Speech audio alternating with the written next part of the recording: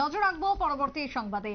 ফের একবার আরজিকর কাণ্ডে ধর্ষণের প্রতিবাদ, খুনের প্রতিবাদে রাস্তা দখল মহিলাদের। আজ শহর আগরতলার বুকে এমনই প্রতিবাদ মিছিল পরিলক্ষিত, যেখানে শয়ে শয়ে মহিলারা পা মিলিয়েছে। ধর্ম, বর্ণ নির্বিশেষে আজকের এই মহিলাদের মিছিল।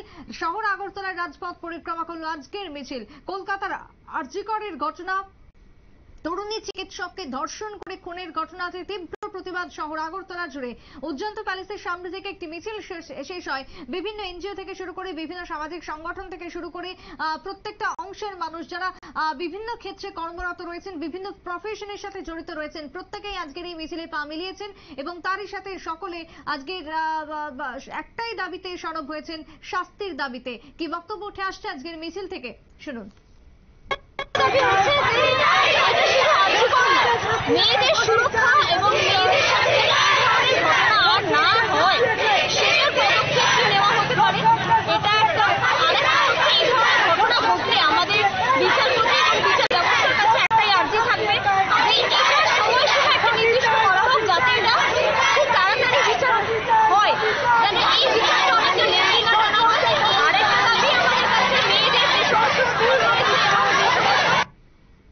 আপনারা শুনলেন আজকের এই মিছিল থেকে অঙ্গনা নন্দীর বক্তব্য। তবে সেই জায়গায় দাঁড়িয়ে ধর্ষণের বিরুদ্ধে এই যে প্রতিবাদ, এই যে মহিলাদের কর্মক্ষেত্রে নিরাপত্তা, সেই দাবিতে এক প্রকার সরব রাজপথ দখল যেরকম ছিল গত চোদ্দই অগস্ট রাত্রের বেলাতে মহিলারা নেমেছিলেন। আজকে পুনরায় সেই আন্দোলন সংগঠিত এমনকি আগামী কালকেও শহরের বুকে বিশেষ বিক্ষোভ মিছিলের আয়োজন রয়েছে।